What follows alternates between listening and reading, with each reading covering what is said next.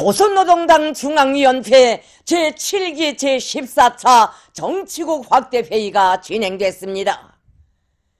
조선노동당 중앙위원회 정치국은 당과 국가의 당면 사업과 중요 정책적 문제들을 토의 결정하기 위하여 7월 2일 당중앙위원회 본부 청사에서 확대회의를 소집했습니다. 조선노동당 위원장이시며 조선민주주의인민공화국 국무위원회 위원장이시며 조선민주주의인민공화국 무력 최고 사령관이신 우리 당과 국가 무력의 최고領도자 김정은 동지께서 회의에 참가하셨습니다. 회의에는 조선노동당 중앙위원회 정치국 위원 후보위원들이 참가했습니다.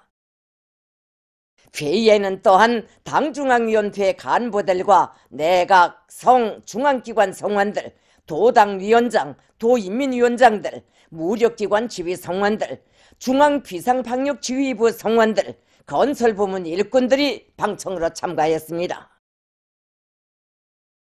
당중앙위원회 정치국의 위임에 따라 김정은 동지께서 회의를 사회하시고 중력 결론을 하셨습니다.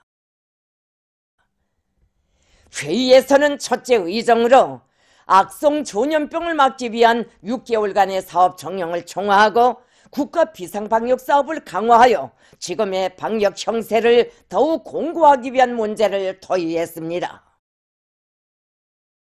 경의하는 최고령도자 동지께서는 우리 당이 이번 정치국 회의에서 국가 비상 방역 문제를 또다시 토의하는 목적과 취지에 대하여 언급하셨습니다.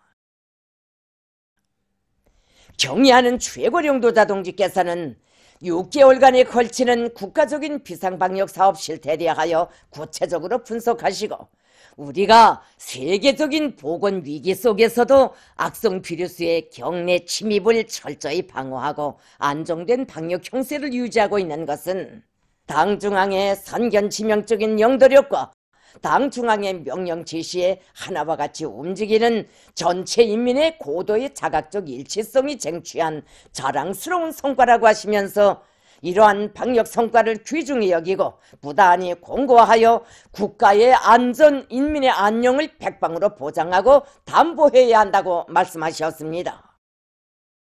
경의하는 최고령도자 동지께서는 최근 주변 나라들과邻접 지역에서 악성 전염병의 재감염, 재확산 추이가 지속되고 있고 그 위험성이 해소될 전망이 불확실한 상황에서 방역 전초선이 조금 더 자만하거나 해이됨이 없이 최대로 각성 경계하며 방역 사업을 재점검하고 더 엄격히 실시할 때 대하여 지적하셨습니다.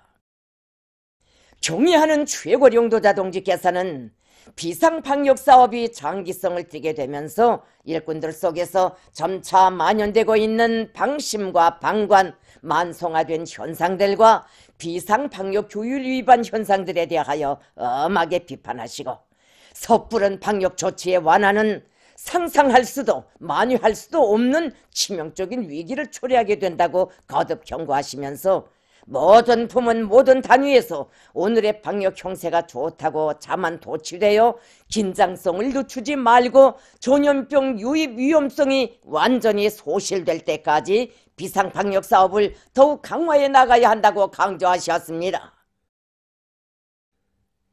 회의에서는 6개월간의 국가 비상 방역 사업 정령에 대한 보고를 청취하고 토론들을 진행했습니다. 보고와 토론들에서는 상반년도 국가 비상 방역 사업에서 반려된 문제점들을 비판적 견제에서 심각히 분석 총화했으며 세계적인 피해 상황에 대처하여 비상 방역 조치를 철저히 준수하기 위한 조직 정치 사업을 더욱 짜고 들고 비상 방역 체계를 엄격히 유지하기 위한 보다 세밀하고 적실한 대책들을 강구해 나갈 때 대하여 지적했습니다. 회의에서는 둘째 의정으로 평양 종합병원 건설을 다그치고 의료 봉사를 위한 인적 및 물질 기술적 보장 대책을 강구할 때 대한 문제가 토의됐습니다.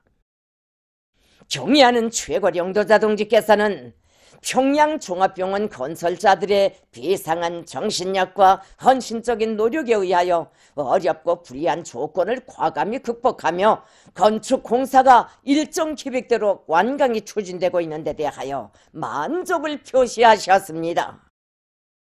경의하는 최고 영도자 동지께서는 평양종합병원을 인민들에게 실제 최상급의 선진적인 의료 봉사를 할 수 있게 세계적 수준으로 훌륭히 완공하는 데서 제기되는 문제들을 시급히 대책하기 위한 국가적인 강력한 조치를 취해 주시고 시공 부문, 자재 보장 부문, 운용 준비 부문 앞에 나서는 구체적인 과업들을 제시하셨습니다.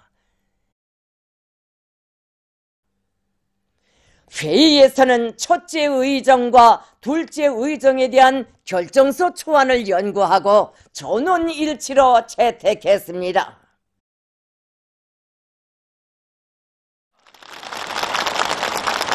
회의에서는 당 대외 사업과 관련한 중요한 문제들과 기타 사항들에 대한 연구도 진행했습니다.